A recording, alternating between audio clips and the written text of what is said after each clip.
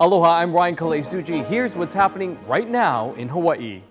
Police are trying to piece together what led to a shooting that killed a 34 year old man in Chinatown. Investigators say the suspect fled on foot and entered a white hatchback vehicle.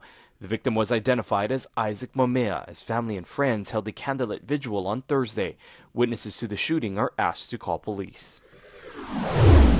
Oahu's second medical marijuana dispensary is set to open in early October. Noa Botanicals will employ 27 workers and open in the former Crazy Karaoke building off of Young Street.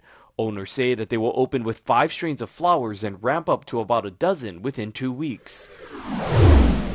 A theater favorite is set to open this weekend at Diamond Head Theater. Ragtime, a story of the American dream, stars Kent Overshone and Lindsay Roberts. To find out more, check out the TGIF section of the paper.